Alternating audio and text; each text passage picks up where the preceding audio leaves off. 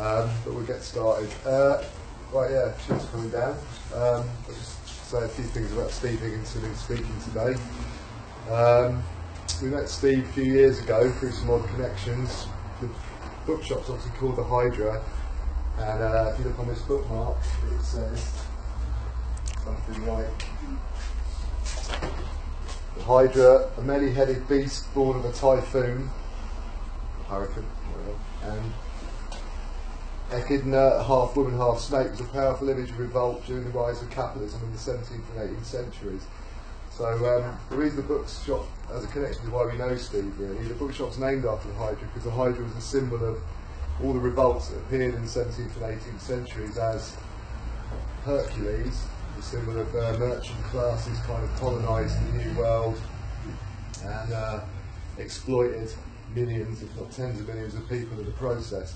All through that time there were revolts by sailors and indentured labourers, slaves, obviously Caribbean slave revolts, and all across that Atlantic world there were, there were revolts. And the Hydra represents that because every time the merchant classes and their armies and their East India companies and, and all, all the sort of mechanisms for exploiting that new world, not just in South America, North America and across the Caribbean, every time they tried to put down a revolt, another one sprang up somewhere else. So that's where the symbol of the Hydra comes from. And you may have not seen this book, if you wish to write, called The Many-Headed Hydra, which is where the, we learned about this. So I definitely recommend that text because it had a massive influence on starting that Bristol Radical History Group. That book was written by, by uh, Peter Linebaugh and Marcus Rediker, two American historians who um, we spoke to very early on when Bristol Radical History was forming. Uh, basically, we spoke to Marcus Rediker, who's an expert on piracy and maritime what they call the maritime hydrarchy, a kind of the kind of revolt that went on amongst sailors and other maritime workers in that period. And we wrote to him in, in 2005 when we were first thinking about doing some events around the radical history of the Atlantic in Bristol, and he said um, he was very supportive. Um, he said, "Yeah, do it, do it, do it, do it. You know, this is a good idea. You know, you, Bristol's perfectly placed because it's a port city, as is Liverpool." another port city was certainly involved in the transatlantic slave trade. So um, he was very, very positive about it. But one of the things he said was, he said, you need to speak to this group in Liverpool that we came across a few years ago, uh, involved in the Writing on the Wall collective, and, and they put us in touch and said, talk to, the, talk to our uh, talk to our people we know in Liverpool because they're on the same track. They're looking at this this kind of uh, outside the nation understanding of history. So kind of going against the idea of, say, British history, but looking instead at the history of, say, the Atlantic proletariat. There's huge numbers of people moving across the Atlantic, whether it was West African slaves, or whether it was indentured labourers, or whether it was sailors or soldiers, you know, developing the new world. And all of those people were involved in revolts against that system. So we talked to Writing on the Wall, and that was the way we got in touch with Steve, who was one of the people who was involved in some of that work.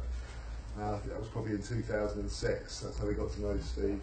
Um, since then, Steve's come down and done several talks, particularly on time, work, labour, discipline, his, his relationship to port cities and how they're different, how there's different kinds of, say, political and social behaviours in those cities. I mean, some people are, I mean, I, I would say that, I don't know what you think about this, but one of the most spine or hair-raising moments in my life was watching uh, the FA Cup final after the Hillsborough tragedy. Um, you she might remember back in uh, 1989.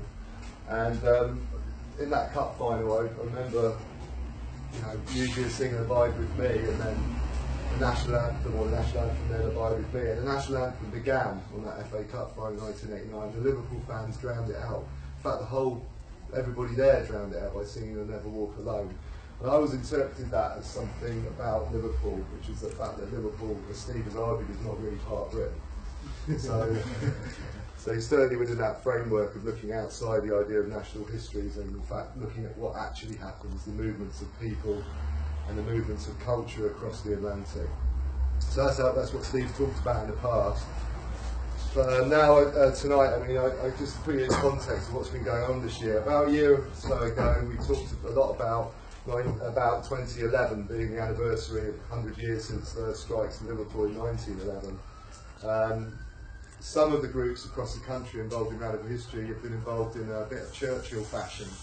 We certainly have, because we'd like to take the iconic image of Churchill apart and really expose perhaps what the real history of Winston Churchill is, and obviously a connection to 1911 Olympic, which Steve, I imagine, will mention. Um, so we've been involved over the last couple of years. In, in Liverpool, they've been running a series of events, Steve outlined, about the history of 1911, which is an iconic, iconic Liverpool history. So I know there's been an awful lot of controversy about this new history, and Steve's going to kind of outline some of the work he's been doing on 1911 and some of the new perspectives which have created uh, consternation in different quarters and in the history groups of Liverpool. So I'm just going to hand over now. All right, thanks, thanks a lot, Rog. Um, but first off, uh, on behalf of um, the people who've been running these series of events back in Liverpool, we are absolutely delighted to come down here and speak at the um, the opening of the Hydra bookshop. We really are, you know, it's uh, probably the highlight of what we've been taking uh, around Liverpool, uh, having this gig down in Bristol. Um, 1911, iconic year in Liverpool.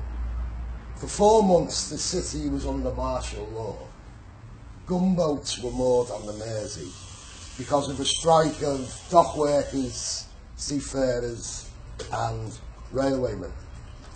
Now, Church, Winston Churchill, um, a month into the dispute, um, in reply to a question in the House of Commons, um, made this statement, you need not attach any great importance to the rioting in Liverpool last night. It took place in an area where disorder is a chronic feature. And um, I must admit, I don't often, well, I never agree with Winston Churchill, but he got it right on that, uh, that quote. Um, now, what's taken place over the last 12 months in Liverpool is um, very, very conventional in terms of the history of Liverpool 1911.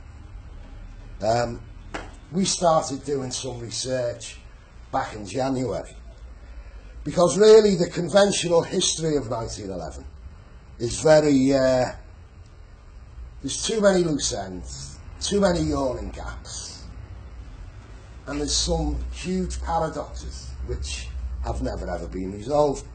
Now, conventional Labour history and radical history would say that what took place in Liverpool in 1911 was a syndicalist revolt. That's what they put it down to. But it's quite bizarre. If you want to call it a syndicalist revolt, then when you have a look at the demands of dockers, seafarers and railwaymen, their central demand, according to their trade unions, was for the government to mediate between labour and capital what they call conciliation and arbitration boards. Now, I would argue that that is about as far removed from syndicalism as you can get. Because synd- syndicalism, to me, my reading of revolutionary syndicalism, at its core, was always to smash the state, not bring the state as a mediator into um, industrial life. The, um, the other aspect of, um, well, it's quite a, a huge contradiction, is the fact that, again, conventional radical history in Liverpool and elsewhere has seen it, what took place in 1911, as being down to a couple of trade union leaders. The leadership of Tom Mann, the leadership of the Dockers leader, James Sexton. Now, the problem we had with that was because when we started looking at government papers of 1911, the government were very, very concerned because they said the disputes have gotten out of control the men will not listen to their leaders, and a young group of new and unknown leaders have sprung up. So what we started looking at to try and um, um, look at these contradictions is really what was really going on in 1911. So what we did when we started writing about it, we came to realise that 1911 is the year that Joe Hill writes the great labour movement anthem, You'll Get Pie in the Sky When You Die. 1911 was when the Mexican Revolution broke out with Zapata. Um, 1911 was when the first art of Pablo Picasso arrived in Liverpool. 1911 was also where Liverpool became the base of a group of radical educationalists who were all anarchists. And what we decided to do in looking at 1911, we came to the conclusion that you can't separate what was taking place industrially from what was happening culturally, artistically, musically, and a whole other plethora of art forms. Uh, we've always argued our politics is basically the working class are always far more than just a job role. There's always far more attached to uh, working class people than just uh, work. So we, what we started looking at first off is the transatlantic influences of 1911. And if you can think that in 1910, over 120,000 Liverpool seafarers shipped out to America, New York, on a transatlantic run. 120,000. That many, in fact, that the Seafarers Union leader, a fellow called Havelock Wilson, to try and prepare for a seafarers strike, had to spend six months in America trying to marshal his own union membership. Didn't spend six months in this country, six months in America, because that was where they were. Then what we came across was um, the fact that all these Liverpool seafarers had docked, jumped ship in America. And at that time, the union organiser for um, the Wobblies, the industrial workers of the world, who was working the Brooklyn docks and the New York docks, was a wonderful woman of colour called Lucille Parsons. She was working alongside um, James Connolly, famous Irish agitator. And we started to argue that if you've got 120,000 seafarers who jump ship in New York, then it beggars belief that you would argue that they wouldn't have come under some kind of influence of Lucille Parsons, James Connolly, and the industrial workers of the world, the IWW. Because again, we, uh, we tend to forget that in 1905, when the IWW was founded, one of the signatories to the IWW was James Connolly. And Connolly ends up, in 1911, working on the Belfast docks the same time the Liverpool dispute had broken out, Belfast and Dublin break out as well. So what we started to try and do is to make all these connections.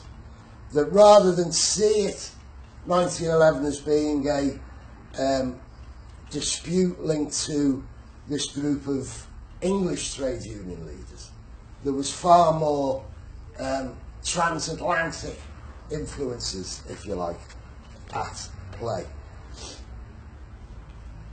What kicks off the dispute? Well, this is where, and I think it's the same with any revisionist history, um, this has caused quite a furore back on Merseyside. The reasons that we've said the dispute broke out.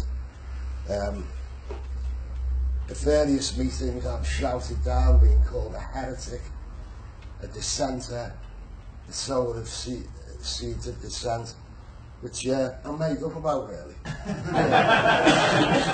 that's who I am, and that's what I've done always. Anyway, so it makes no difference. I'm del- delighted with those um, labels.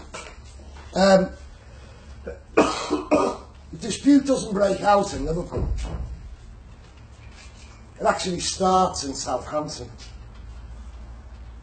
And the reason why it starts, and um, the radical, Bristol Radical History Group have heard me speak on umpteen occasions about this question of time and industrial time. It starts off at Southampton docks. And we must remember that, you know, a hundred years ago, the majority of workers on the docks were casual. What takes place in Southampton is five, five workers are told to attend for work at six o'clock in the morning. They attend for work and they're told there's a log jam in the dock, therefore you'll have to hang round and we'll call you back when you're required. They were called back at 11 o'clock. However, this day, what they said was, well, look, you've kept us waiting from 6 till 11. We want paying for that. That in itself was quite a revolutionary demand. They these five individuals said, we want paying for that time, 6 till 11. And they were out on strike for five hours. In the end, the employer conceded and the ships um, started to leave Southampton. But in the meantime, what they had secured in Southampton had spread to Liverpool. Because basically it's the same in any industrial dispute. If one group of workers get something, another group will say, well, we want some of that as well. So the same demands that took place in Southampton were then being applied in Liverpool. And there's two, two particular reasons for that. Is that transatlantic liners um, were getting quicker and quicker and quicker. In fact, 1911 saw the Mauretania, the transatlantic run Liverpool to New York and back, it broke the world speed record. But on those ships, the workforce are being expected to work, work quicker and quicker. When the ship docks, the dockers are expected to work quicker and quicker because they've got to turn it round and get it back out on the outgoing tide. Now, we would argue, and we do argue, that, that what we were seeing, what we see in 1911, is the birth of speed up capitalism, which we're living, you know, we would argue, and we might have a debate about this later on. The epitome of that is the age that we live in today, where everything's instantaneous. We don't have any time or space. Everything's compressed into the instant. So, all what um, Frederick Winslow Taylor had written about in 1911, he was the, the father figure of time and motion, whereby every little movement of a worker was being timed and broken down on a production line, basically to turn groups of workers into robots. And that's what was happening on the ship and on the docks. And that is the core element, really, of the revolt that took place. And what's very, very interesting is that, again, um, some of uh, the people we've upset back in Liverpool, um, the two people I worked with on this project, we've got a combined level of trade union. We were, we were all we've all been trade union shop stewards and trade union officials. What we did, we went through all the agreements that 1911 um, secured, and um, it was quite clear that what 1911 was about was time. Because every one of the agreements covering seafarers, dockers and railway are to do with this element of work time. So if you're a casual worker and you're told to turn up at six in the morning and there's no work for you, you will be paid from six o'clock in the morning, irrespective of whether there's any work for you. If you're told to turn in on a Saturday and Sunday, you won't be classed, that, those days will not be classed as normal working days. You will be paid overtime, double time, and in some cases, treble time. So we've got this whole um, construct of time which is uh, enveloping um, Liverpool at the it's quite embarrassing when you read some of the, the comments from the trade union leaders at the time because their, their particular argument with the employers, and this is where we've always got to differentiate between what trade union leaders are saying and what the rank and file are saying, because there was a massive gap in 1911 um, in terms of what the leaders were saying and what the rank and file were saying. And that's why it took so long to get the workforces back to work. That's why it ran on and on and on for nearly four months across that long, hot summer. Um, the other element, which I touched on before, that we can't separate from what was going on the docks. Um, I've seen there's a, I think there's a book here by a Brazilian educationist Paulo Freire, The Pedagogy, Pedagogy of the Oppressed. And that, that is basically, um, Freire developed this concept of anyone who works in education today, it's either called active learning, student-centered learning, or experiential learning. Um, yeah, it wasn't Freire who came up with that concept. A group of anarchists in Liverpool in 1911, a wife and a partner, uh, uh, Nellie and James Dick, also um, another anarchist called Leonard Abbott. They had set up in Liverpool in 19, from 1908 what was called the modern school movement. The modern school movement was based on the teachings of a Barcelona, Barcelonian anarchist Francisco Ferrer, who was um, assassinated by uh, the authorities in um, Barcelona in, um, in that same in that same year. So Liverpool from 1908 onwards had this thriving, independent, anarchistic um, form of education.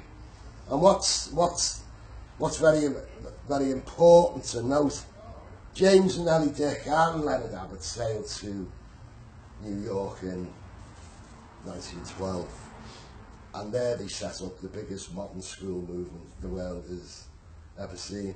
So big that the great, well, American philosopher and educationist John Dewey, it was at that school where he got all his influences from. Um, but even though they sailed to New York in 1912, their, their influences are still felt in Liverpool today.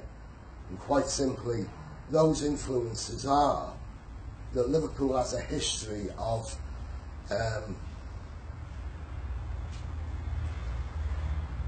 from the 1960s onwards, when, it, when local authorities have tried to shut schools down, uh, the north, the south, the east and the west of Liverpool, um, we've seen this development where communities rise up and refuse the authorities the opportunity to close them.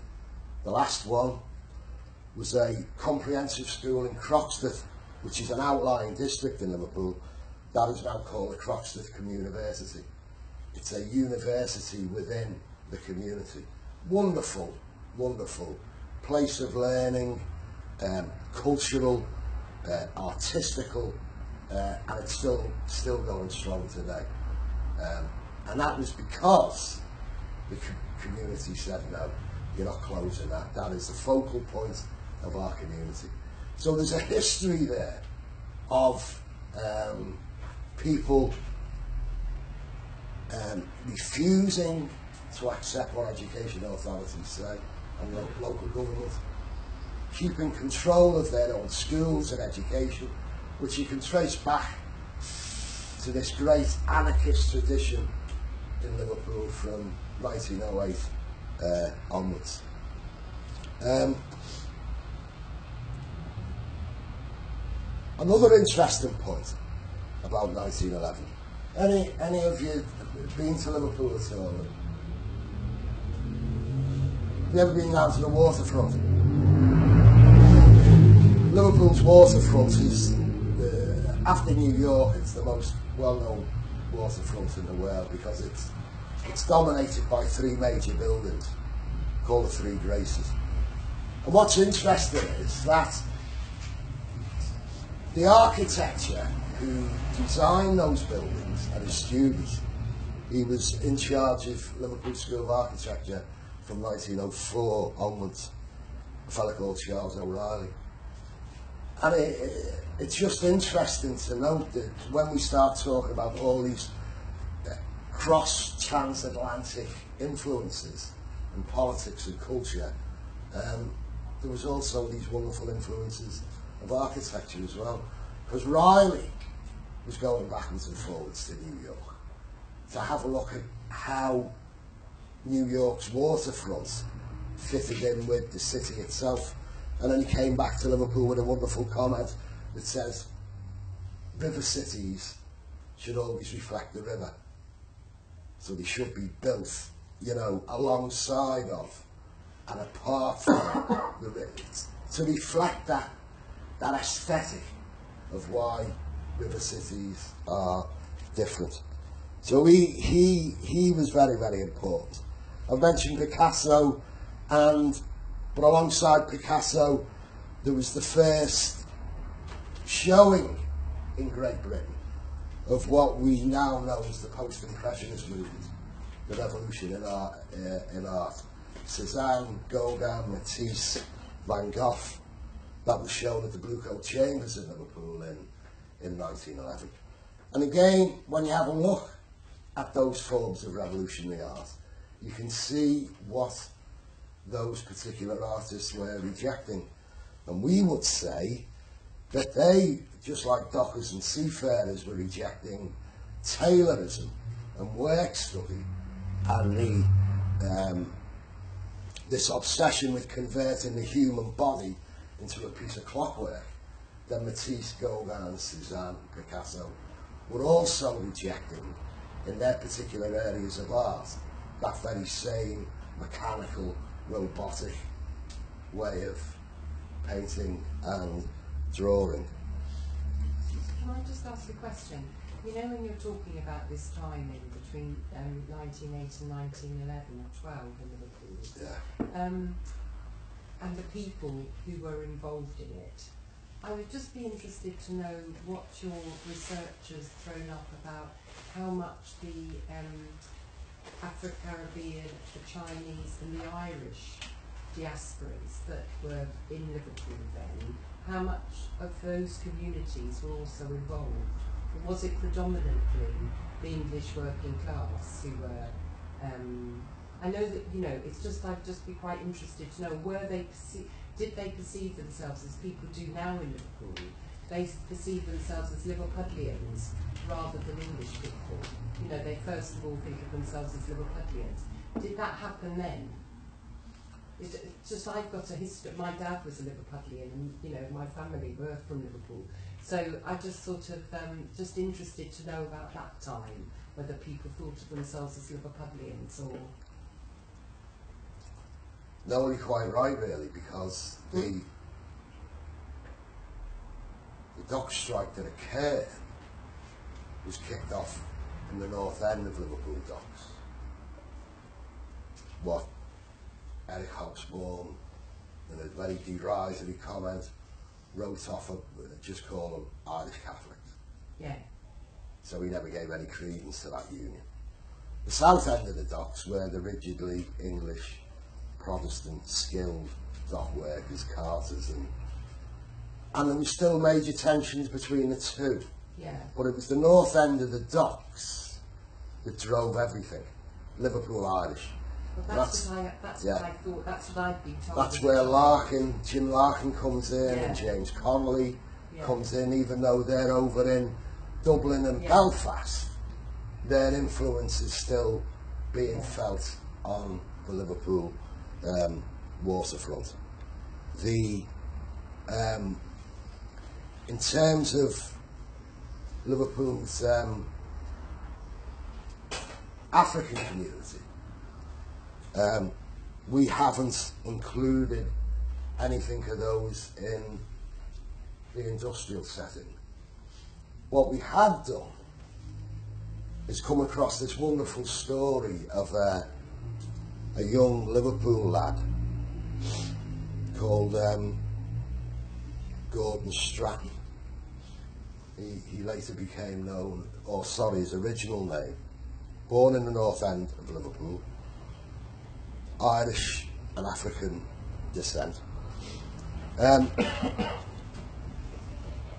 and from 1904, he's a clog dancer with Charlie Chaplin in Liverpool. So,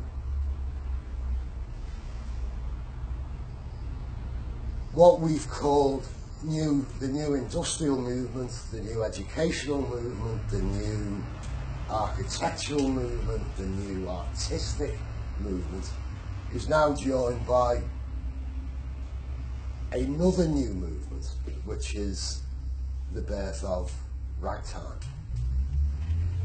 Now, people have said to us, well, how how do you equate this young Billy Masters with ragtime?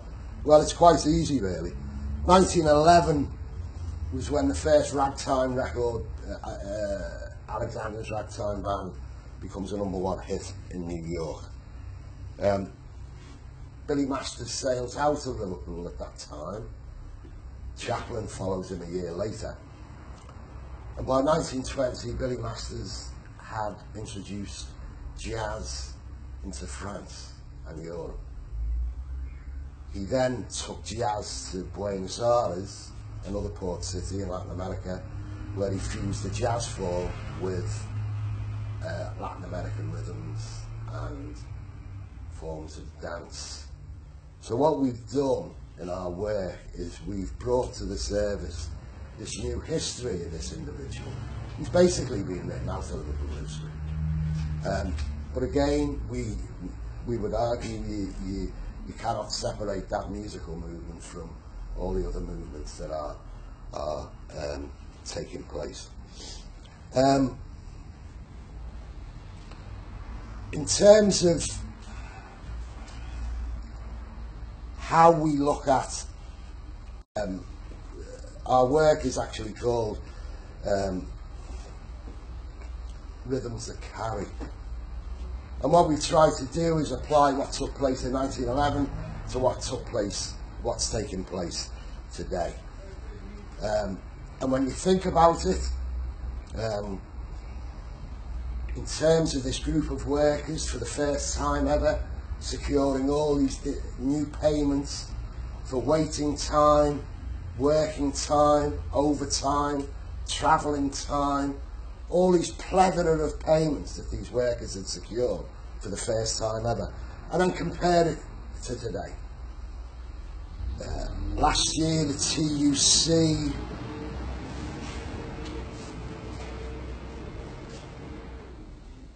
TUC report that work, British workers are now contributing 29 billion pound worth of free labour to British employers by working unpaid overtime.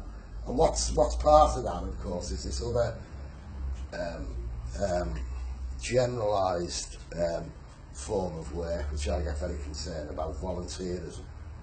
You know, Liverpool City Centre now has a whole range of artistic, cinematic areas where young kids are working for nothing.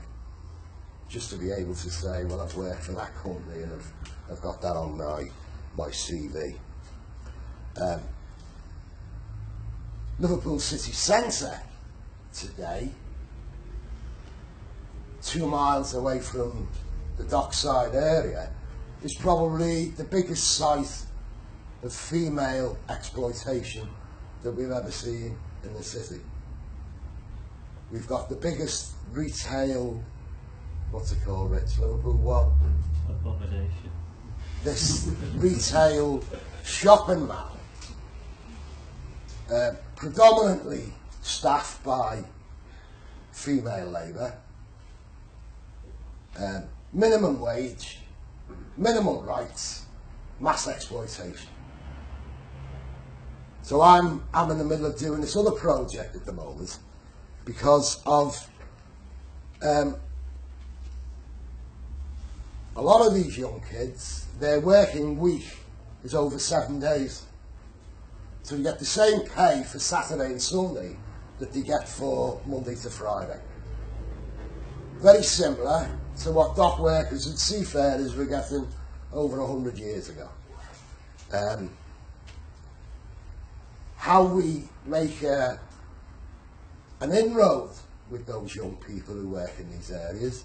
What, what I found very, very interesting is that when you speak to them about their working week, and when you speak to them that w- would they like to ha- be paid overtime or double time on a Saturday and Sunday, they they grab it at one, you know, they, they get it in one, and it's it's just a pity that um, particular trade unions who organise retail sectors of the economy um, aren't using that argument enough because I think there's a massive potential there for um, new forms of uh, representation and new new forms of um, trade unionism as well.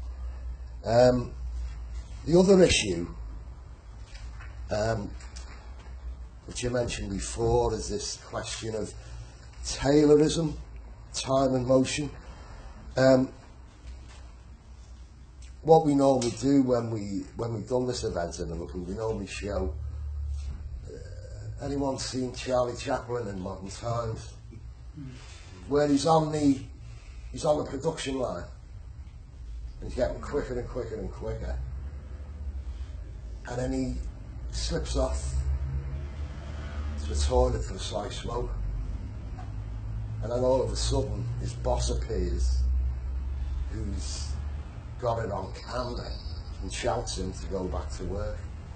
And the genius of Chaplin with that film is he, he's, he's predicted everything that happens today in terms of surveillance. The pace of work, the labour process that's gone from being collective to individual, with the levels of internal surveillance as well. Um, finally, um,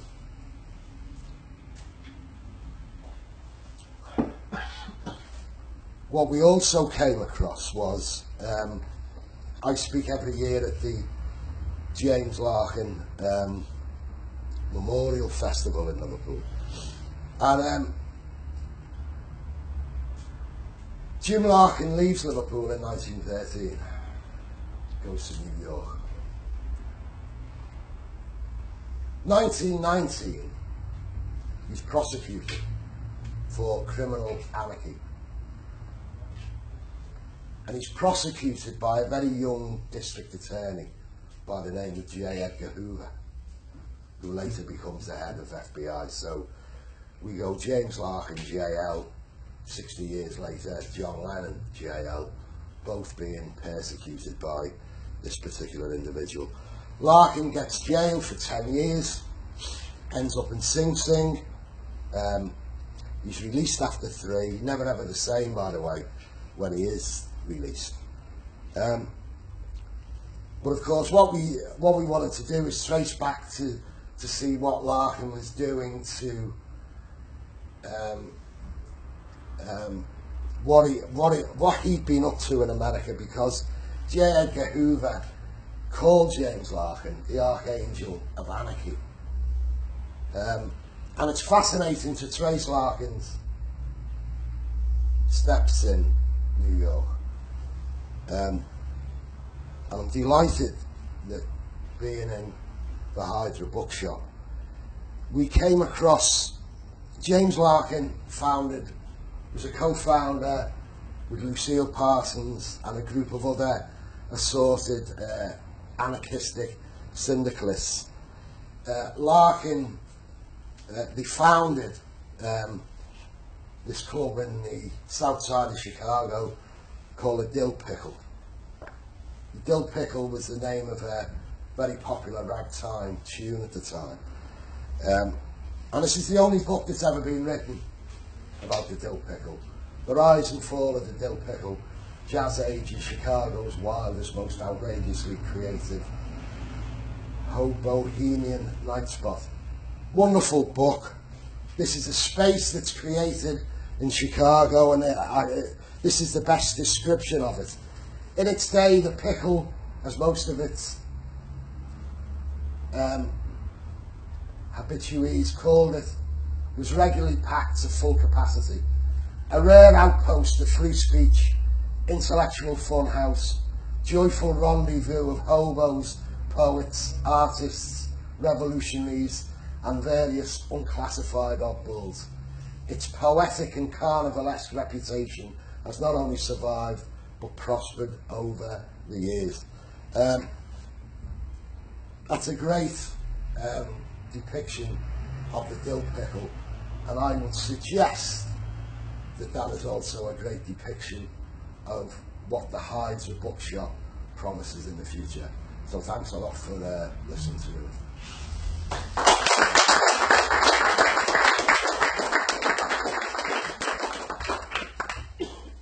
Got any questions then? Beer in a bit. My question. I got questions. Got a question?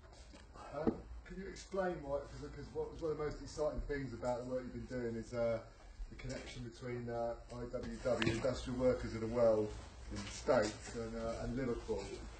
And there was like I've been spreading rumours that you know, people, one of my sort of revolutionary heroines, which was Lucy Parsons, had connections with Liverpool.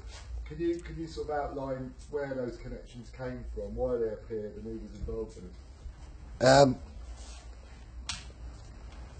first appeared in 1905 when James Connolly, Liverpool Irish, found a member of the IWW. Um, Connolly then is a labour organiser on Brooklyn docks alongside Lucille Parsons. We can't find any track of Lucille Parsons coming to Liverpool. But what we can find track of is this continuing transatlantic influence of the Wobblies. So Big Bill Haywood, from 19, who's the, the figurehead of the Wobblies from 1910 to 1913, is a constant figure in Liverpool. We've got this wonderful photograph of him with um, alongside James Larkin and again, uh, a forgotten history. Um, 1912, the Secretary of Liverpool Trades Council, the councils of all the trade unions, was a lady called um, Ma Bammer. And we've got this wonderful photo of her, Larkin and Haywood, before Haywood's due to speak at one of these massive big um, labour meetings in the north end of Liverpool. And that continued, so that there were actual um, branches of the IWW set up in Liverpool. In fact, there was probably more influence of the IWW than there was of conventional Marxism and socialism. And I think that chimes in with um, the different nature of Liverpool trade unionism. And when I say that, I'm not saying it in an arrogant way, I'm just saying that it's a fact of life. That uh, all my trade union life, I don't think I ever was involved in one dispute about wages. Never about wages. It was always about my, my own respective workforce reacting to authority with discipline. And I think that is traced back to the spontane- spontaneous nature of um, how the Wobblies organised back in back in those back in those days. Oh, well, well, Um, how do you think Liverpool uh, in the present day reflects what, what you were saying in the past, and how and what are how is Liverpool as a city responding to you know what, what its government's doing in terms of cuts and things? Um, you- and is there organising? Is there historical remnants of organising still there, or is there major organising? What's is there parallels? You know, with what's going on now and then? the Merseyside area has got the highest density of trade unionism than any other part of the country. The Merseyside area has got more trade union leaders and more trade union officials than any other part of the country. And of course, out of the seven or eight big unions within the TUC, six of those leaders are from Liverpool. However, and this is the problem, and this is where I run into um, major differences with my old um, comrades on the left is that okay we can accept that but you go to the north the north end the south end the east and the west. There are these massive industrial estates that were built just after the second world war. The industrial estate and the housing estate. Some of them are six or seven miles on the periphery edge of Liverpool. One of them that we're doing a project around now, at its peak, Kirkby Industrial Estate provided work for 89% of the housing estate. That figure now is barely 9%. These areas are literally in a land that time has forgotten young people, two, three generations unemployed. Um, mention Trident to them, you think it's a new computer game. It's a fact. There is no neighbourhood or family connection with trade unionism and radicalism. That has been wiped out. How we reconnect with them, I don't know. I haven't quite got to that um, because their lifestyles are very individualistic. Um, their their collective nature of life is is minimal, and the, these are the things that I would argue were always very very important to um, radical politics and radical trade unionism over the centuries that you had families, neighbourhoods and community uh, that's where your roots were and these things got passed on. Um, I don't see that happening anymore that's what worries me really So, what is the experience then of Liverpool as a changing city in response to that? Then, would you say that uh, how's that impacting then on a city which has had such a strong history of, you, know, that you were just talking about? It, would you say that that's now in decline? Well, I don't think it's reacting very well to it because I, I, I, I was speaking to Mark and Roger about it. Uh, again, part of this project that I'm involved in is looking at this whole question of what's called a post-industrial city. That's, you know, um, Liverpool, and somebody said it's the same with Bristol to a degree, because the industry, skilled and semi-skilled, is gone the city decides, well, we've got to go for leisure and tourism to bring people into the city and get them spending the money.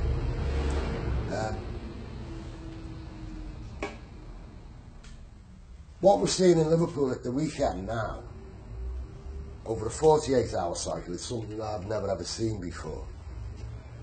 Um, where the city literally becomes colonised by hen nights and stag parties from all over the country uh, over a 48 hour cycle. What goes along with that, which is something that we've never seen in Liverpool, is a uh, rise of lap dancing, strip clubs, and what's linked to that is this appalling violence, male on female, that goes on every weekend. Um, I would argue that's what you get when you sell your soul to tourism, consumerism. That's what it generates. So no, it's not. It's not living up to its past heritage very well. I'm afraid.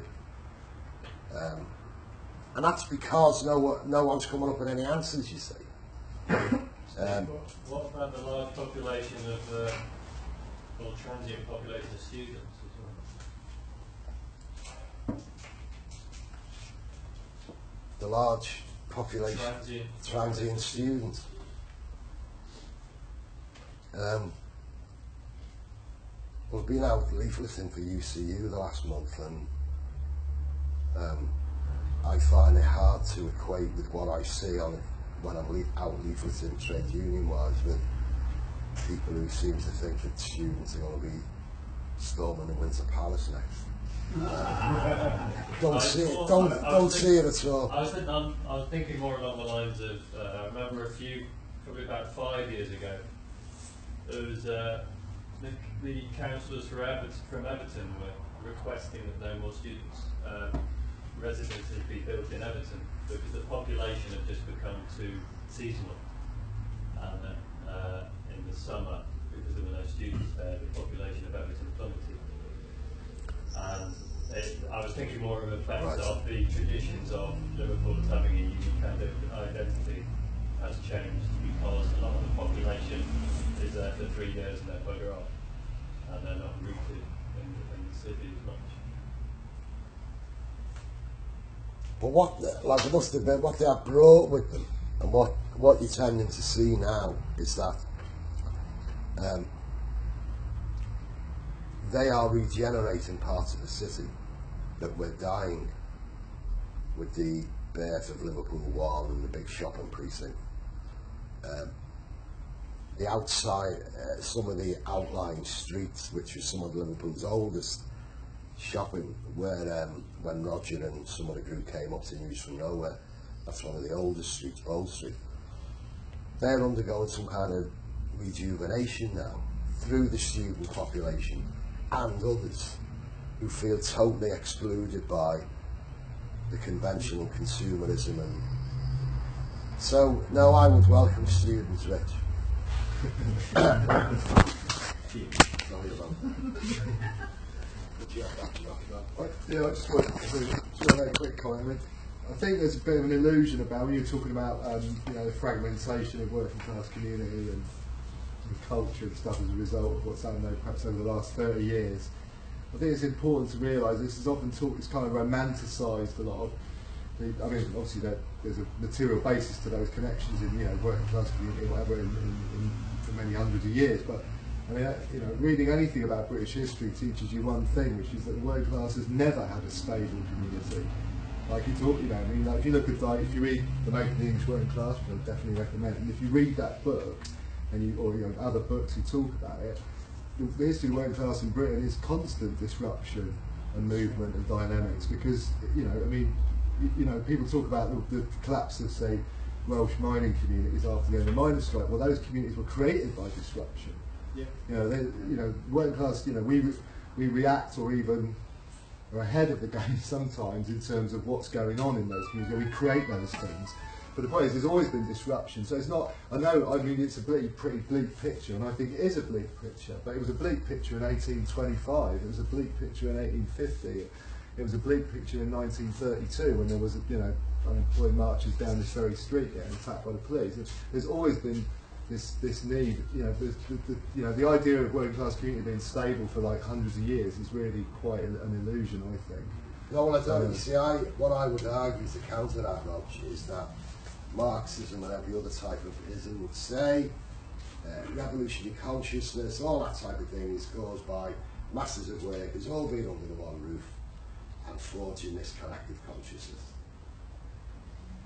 Where are all these masses of workers all under the roof? Well, that's because we haven't got a manufacturing industry. We don't have a manufacturing industry, but what do we have in its place? Very, very individualised forms of working. So my nephew's just walked out of Sony, he was there for seven years, put him on the verge of a nervous breakdown. Because he's working at a computer terminal all day. He's not allowed to speak to people on either side of him. And during his break in dinner time, times of socialising, that's frowned upon because they, they give them individual games and all this type of thing to now I find that type of thing very very scary you see because again that's just another element of this individualization and you call it alienation from the social you know from sociability and social life in general and I don't think we've quite got a, a handle on how to deal with that at the moment. I really don't. I, I also think that I come from the Forest of Dean and I grew up in Cinderford, which is a small mining town. Uh, when my dad, when I talked to my dad, he said there was like there was like 45 pubs in Cinderford, a population of 10,000 people. Right? But I just went back this weekend and one of the, there- there's probably about six now and one of them was just shut down, so it's probably five. There was a miners' welfare hall, which is on its last legs. There was huge amounts of community resource where people interacted, and all that. I mean, I'm not saying pubs are obviously the best place, but that that whole community sense of community and community interaction is being eroded by, you know, look, look, if you took, took pubs as an example, you know, you have bars, you don't have areas where people go and sit down particularly, you don't have communities based around the, these community centres or, you know, all this stuff is gone. I mean, I remember in the early 90s, I used to work down in Employee Community Resource Centre in Cinderford, and we used to have things with one in Kirby, right. and, and they were like sort of one model of re-engaging with, with communities. But there's nothing. I'll, I'll go back to Cinderford. There's no leisure. There's nothing. It's fucked. I mean, it's a dormitory town. There, uh, there's no young people. Or, or, there's no employer, and there's no and there's no community space anymore. All, all that community space is gone. And if you, you can even look at Bristol, you see it all the time. Community, what places which were once maybe religious even, or you know, community spaces, and they they just been commodified and they're gone. So where do people meet? You know, they don't. And I think that that's a sign of this individualism as well. You know, where you know, people sit at home drinking. It's too expensive to go to the pub, or it's like their, pubs aren't there anymore. Whereas, you know, this lack of solidarity is very difficult, I think, to achieve now because because there is nowhere, you know, really where people just interact on a normal day-to-day basis and sit around going, oh, actually, work shit, you know, or if you thought about that, that's gone. That doesn't happen. Has that not just been, has that not just migrated to the internet? Because there's a whole virtual, not for the younger generation, but there's a whole network of communities. No, actually, no. Doesn't compare. I know it's not the same, but if people, people still need to feel a sense of community and connecting, it's just they're using, I think the thing with the now. online communities is that people choose who they, rep, they interact with. It's not like a normal community where you have a mix of different ages and different people. yeah. You, it's You, um, So identity communities. But really. even so, it's still lovely when you meet up, meet Yeah. with people that you Yeah. normally communicate with online, face in a physical space, down and have a few beers with. but It's a bit of the difference between sex and porn, really. but where, Well, I that. where's this mythological, mythological community where everybody interact, interacted. It existed. It existed.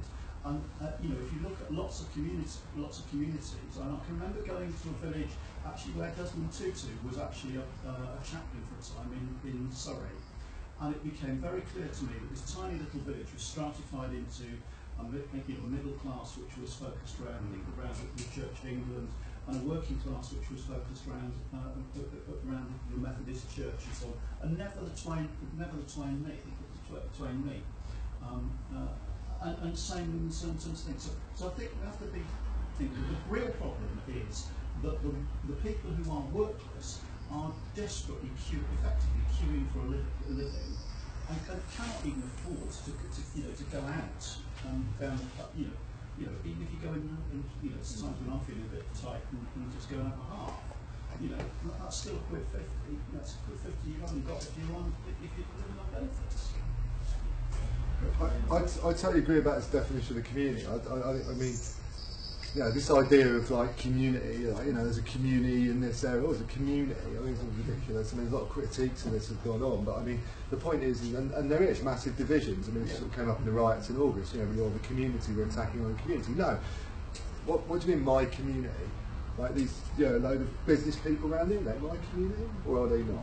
Like, you know, so this idea that there's this unified community is ridiculous. As you said, there's, there's class divisions throughout the whole of this. You know, there's people who own businesses, people got no work, there's people who don't own anything, there's people who own, you know, ma- massive houses who live somewhere else. But the point is, there is you, can't just dismiss that immediately and say, well, you know, we're totally individualised. There will always be a human need for sex rather than porn, right?